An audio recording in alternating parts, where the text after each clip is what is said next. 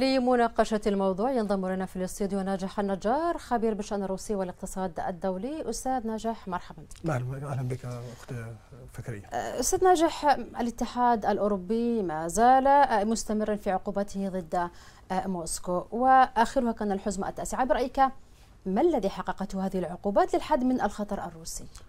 والله في حقيقة أنه استمرار العقوبات الأوروبية أو الغربية بما فيها واشنطن على روسيا هي من شأنها إطالة أمد الحرب بين روسيا وأوكرانيا مزيد من الضغط على القارة الأوروبية لا سيما بشأن تعطل الإمداد أو أو تقليل الانخفاضات أو إمدادات الطاقة والغاز إلى أوروبا. آه كذلك ما يدور في أروقة الكرملين أنه الرئيس الرئيس الروسي بوتين هو عنيد بطبعه. فلا سيما أن العقوبات يعني أو أو البنك الروسي نجح حتى الآن في تمويل الحرب آه أو في استمرار تمويل الحرب الروسية أو العملية الروسية على أوكرانيا. فبالتالي ده يعني آه ترى أوروبا هي حتى هي أوروبا منقسمة على نفسها. هناك دولا في الاتحاد الأوروبي هي لا ترغب أو في استمرار أو لا سيما وعند حضرتك ألمانيا في بداية العملية كانت هي كانت من الدول التي لا تدعم بقوة إمداد أوكرانيا بالأسلحة. ولكن بعد ذلك هي نظرت بعد اللوم عليها إلقاء اللوم عليها من باقي دول الاتحاد الأوروبي في دعم أوكرانيا ولكن على استحياء هناك إمداد روسي ولكن تم تقليله في بشأن الطاقة إلى القارة الأوروبية ولكن تقلص بسبب العقوبات. روسيا دلوقتي حاليا هي ترغب في أو تعيد الصفوف بداية لا سيما بعد انسحابها الشهر الماضي من منطقة خرسون حيث المنطقة الاستراتيجية أو البوابة إلى شبه جزيرة الخرم وبالتالي هي يعني ولا سيما بعد حشد أو تعبئة نحو أكثر من 200 ألف أو 250 ألف جنديا إلى إضافتهم إلى القوات الروسية. حضرتك بطبيعة الحال أنه الرئيس بوتين لن يحيد أو يتراجع عن ضمانات من أوكرانيا أو حلف الناتو لعدم توغل أو تواجد قوات لحلف الناتو على الأراضي الأوكرانية.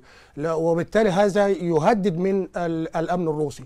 أنا أرى في تقديري الخاص إنه الرئيس زيلينسكي كان عليه أن ينأى ببلاده وشعبه وعدم انخراطه في التحالف مع حلف الناتو أو إعطاء ضمانات لروسيا حتى لأن الخاسر الأكبر هو هو الشعب الأوكراني. كلفه الحرب مكلفة على الطرفين سواء روسيا أو أوكرانيا ولكن الشعب أو الخسارة الأكبر حاليا هي تمس بشكل مباشر الشعب الأوكراني.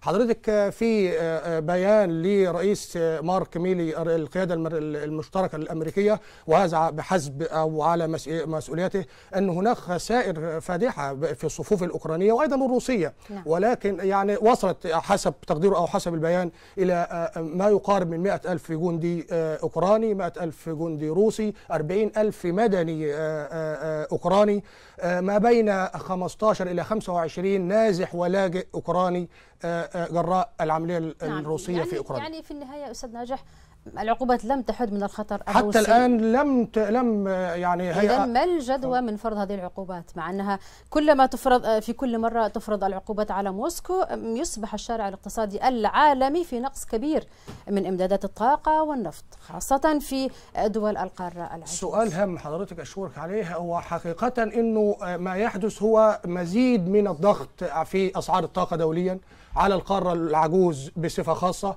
هناك مصانع أغلقت في في أوروبا مصنعين كبيرين في شمال ألمانيا أغلقوا جراء توقف الإمداد أو بسبب ارتفاع أسعار الطاقة. حكومتين أسقطتا في بريطانيا في غضون شهرا واحدا.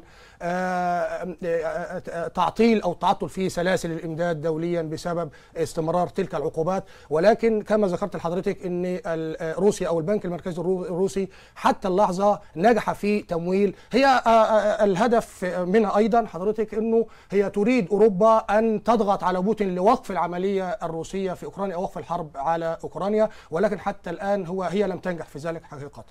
نعم. نعم. آه، آم، ما هو رد فعل المواطنين الأوروبيين آه، آه، على آه، العقوبات التي تفرض على موسكو والتي كما قلنا أنها عملت ضغط آه، ونقص كبير في إمدادات الطاقة والنفط في الدول العجوز. هنا ما فعل رد ما رد فعل المواطنين الأوروبيين على ذلك؟ هناك غضب في الشارع الأوروبي في بريطانيا في ألمانيا في فرنسا. يدعون هناك إلى أن إلى وقف الدعم إلى أوكرانيا وتوفير هذه الأموال وتدبيرها إلى الشعوب. هناك أزمة طاقة. بوتين يعني زي ما بالعامية قطع ال- ال- الحنفية ال- أو الطاقة عن أوروبا واستخدم ذلك في فصل الشتاء. آه، كان اعتماد أوروبا بشكل كلي أو يعني بنسبة 80 أو 90% على الغاز والنفط الروسي. ولكن هناك غضب عارم في الشارع ال- ال- الأوروبي جراء الدعم إلى أوكرانيا وترك هناك آه، مواطنين أو في آه، بريطانيا.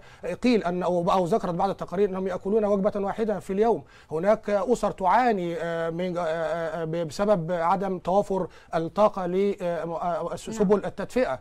آه، ف- فصل الشتاء هو الأصعب على القارة الأوروبية وعلى شعوبها. نعم وهذا ما حققته كما قلنا آه، الأزمة الروسية آه، ال- الأوكرانية. مراقبين يرون أن مواصلة الاتحاد الأوروبي في وضع العقوبات كما يراه مراقبون طبعا ما هو إلا رد ضعيف لثبات العملية الروسية؟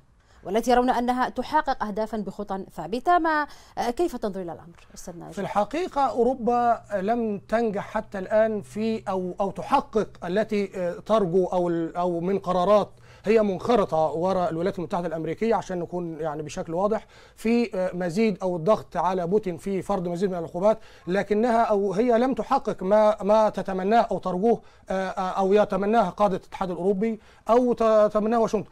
آه، أذكر لحضرتك أن هناك اتصالات بين آه، الرئيس ماكرون وبين الرئيس بوتين لم تتوقف بعد وبين المستشار الألماني. كذلك هناك اتصالات سياسية وعسكرية وأمنية بين الولايات المتحدة نفسها التي تقود التحالف ضد روسيا أو حلف الناتو وما بين روسيا. وهناك اتصالات دبلوماسية جارية حتى الآن حتى اللحظة آه، بين واشنطن وموسكو بالتالي إذا الحرب توقفها أو في تقديري أنه الجلوس إلى مائدة المفاوضات آه، عدم انخراط أو استمرار الرئيس زيلينسكي في القرارات أو الانصياع وراء القرارات أو ال ال ال ال الاتجاه التوجه الغربي. آه، هي إطالة أو استمرار أو الهدف منها إطالة م- آه، أمد الحرب بين روسيا وأوكرانيا آه، لتحقيق آه، ضعف الجيش الروسي عسكريا الجي- الاقتصاد الروسي اقتصاديا. ولكن يدفع ثمن هذا وذاك هما الشعبين الروسي والأوكراني ولكن الشعب الأوكراني هو الخاسر الأكبر في هذه المعركة. نعم برأيك ما هي المكاسب التي حققها الغرب وكذلك موسكو أيضا منذ بدء العملية العسكرية؟ آه، موسكو حققت حضرتك حتى الآن لا سيما في السنة الحمر هذه الحرب روسيا آه، ارتفع يعني حققت ارباحا وتجني ارباحا من بيع النفط الروسي إلى آه، أوروبا بشكل خاص رغم تقلصه وإلى العالم.